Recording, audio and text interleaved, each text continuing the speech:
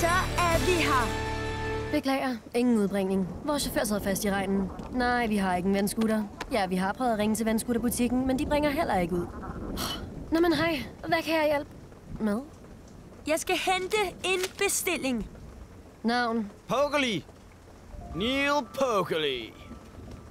Nå ja, ungerne, der lød, som om de var voksne. Det bliver 192. Behold resten. Værsgo. Åh, Vi fik rent faktisk maden. den er varm. Mærk lige. Åh, det er den. Lad os Dække det. Spisebordet!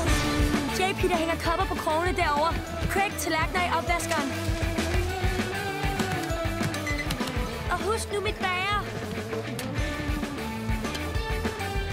Hvor er det altså bare skønt. Det minder mig om den gang, jeg tog til Texas for at besøge min bedstemor, som egentlig ikke rigtig er min bedstemor. Hvor er risene? Hvor er risene? Hvordan kunne du glemme risene? Mine smagsløg. Jeg vil aldrig kunne smage igen, igen, igen. De glemte at give os vores ris. Far kan ikke spise kugerklingelam uden ris til at suge alt det stærke op med. Åh, oh, tænk at efter alt vi går igennem, så mislykkes vi alligevel her til sidst. Håbet er ikke ude endnu. Vi kan lave vores egne ris. Men jeg har aldrig kogt ris før. Tror du, vi kan det? Går du nar? Selvfølgelig kan vi det.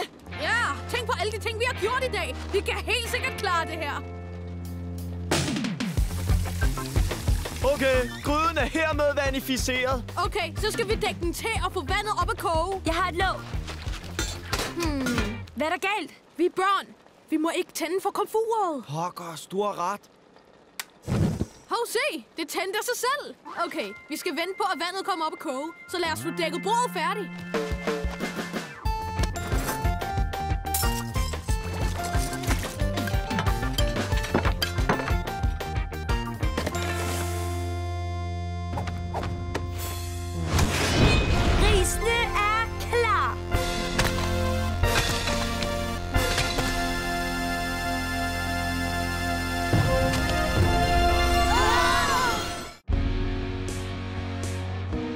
Kan du lide videoen? Hvorfor så ikke klikke på spilknappen? Så kan du spille gratis spil fra serien og meget mere på Cartoon Networks hjemmeside.